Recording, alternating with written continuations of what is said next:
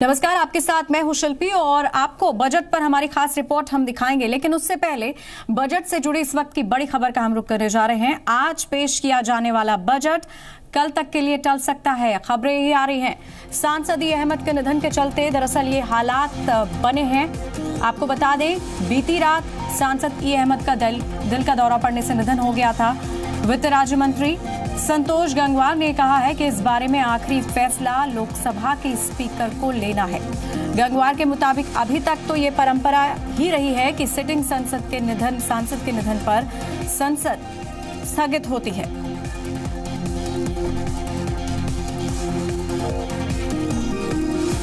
क्या आज आम बजट पेश नहीं होगा? इसे लेकर अटकलें अभी।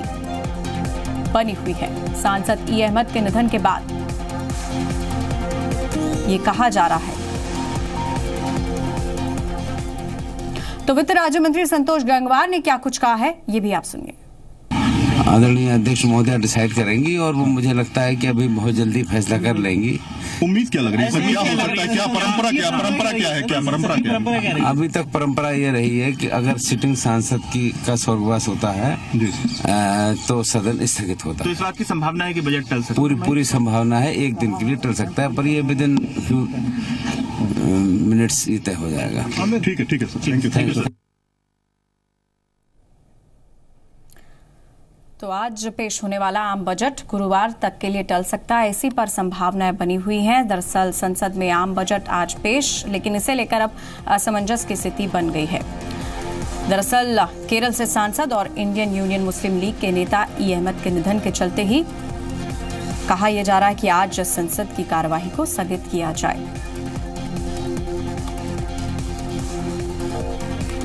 और अभी आप यही सुन रहे थे कि जिस तरह से वित्त राज्य मंत्री संतोष गंगवार भी ये कह रहे थे कि इसकी संभावना बनी हुई है कि आज सदन की कार्रवाई को स्थगित किया जाए। अब इस पर स्थिति किस कब तक स्पष्ट हो पाएगी ये देखना होगा।